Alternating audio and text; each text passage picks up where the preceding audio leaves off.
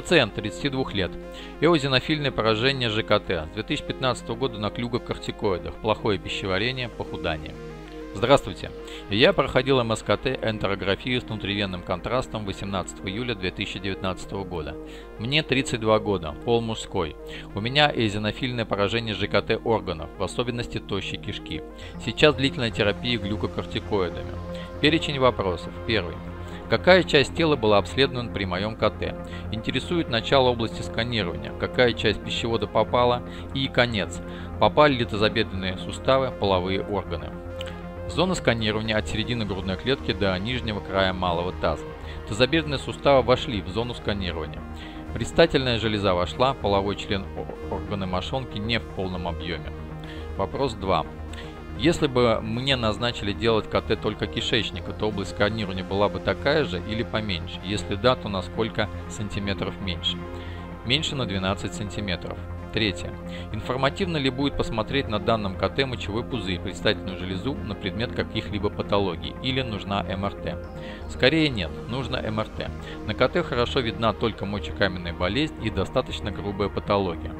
Четвертое. Информативно ли будет посмотреть на данном КТ тазобедренные суставы на предмет куксартроза, асептического некроза головок, ТБС на ранних стадиях или нужна МРТ? На ранних стадиях нет. Пятое. Можно ли на данном КТ определить остеопороз, просчитать минеральную плотность, шейка бедра, поясничный отдел? Нет. Шестое. Самый главный вопрос. Какая лучевая нагрузка была получена при данном обследовании?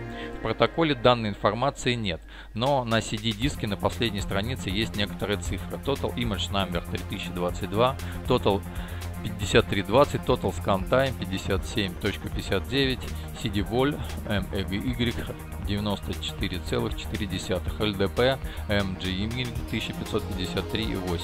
Исходя из данных, нужно точно подсчитать общую лучевую нагрузку в миллизивертах. Общая доза 24,7 миллизиверта. Седьмое. Насколько лучевая нагрузка, полученная мной, опасна? Безопасной считается годовая доза 15 миллизивертов, но, на мой взгляд, никакой катастрофы в этой дозе нет. Восьмое. Какие препараты, продукты нужно пить сейчас для уведения радиации? Исследование было почти два месяца назад, все ушло. Сразу после исследования имеет смысл принимать сорбенты, полисорб, активированный уголь, полифипан и пектин, содержащий продукты. Сейчас смысла в этом нет никакого. Девятое. Можно ли мне сейчас сделать рентген зуба? Доза облучения на один зуб 0,02 миллизиверт. Чтобы вылечить все зубы, суммарная лучевая нагрузка будет 0,12 миллизиверт. Или нужно подождать? Сколько ждать? Можно, доза на зубах ничтожна. Проследите, чтобы на шее щитовидную железу надели свинцовый воротник. Десятое. Можно ли мне сейчас пройти десинтометрию костей? Общая лучевая нагрузка при этом составит 0,1 миллизиверт. Или нужно подождать? Сколько ждать? Можно, нагрузка также мала. 11. МРТ кишечника с контрастом может ли заменить КТ кишечника для выявления болезни Крона, энтероколитов, размеров лимфоузлов и других воспалительных изменений ЖКТ? Да, это очень схожие по сути исследования. Энтероколит скорее не рентгенологический диагноз, велика вероятность, что не увидим на обоих методах. 12. Один из важных вопросов. МРТ кишечника с контрастом может ли заменить КТ, пройденное мной для выявления степени воспаления ЖКТ, а именно определить толщину стенок кишечника в миллиметрах, толщину стенок желудка в миллиметрах, определить диаметр просвета кишок, сужение, расширение. По поводу желудка, я бы рекомендовал сделать гастроскопию, а чтобы оценить толстый кишечник, фиброколоноскопию. Это можно сделать под наркозом за один раз. Толщину стенок и их отек, воспалительные изменения, оценить можно как по КТ, так и по МРТ. Но на КТ это проще. Исследование быстрое, нет артефактов от перистальтики кишечника и дыхания. По поводу сужения и расширения диаметра кишки. Для оценки толстой кишки также можно сделать иригоскопию. Но сейчас иригоскопию мало где делают и опять же при ней высокая лучевая нагрузка. Также есть исследование виртуальной колоноскопии.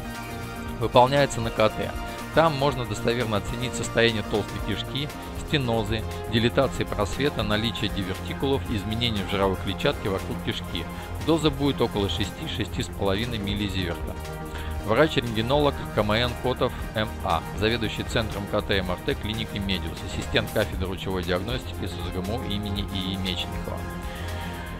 Вопрос от пациента. Уточнение. Как правило, расчет лучевой нагрузки всегда производится исходя из тех цифр, которые я вам присылал. Total Image 4022, Total 5320, Total Scan Time 5759, STD Volt 944, DL 1553,8.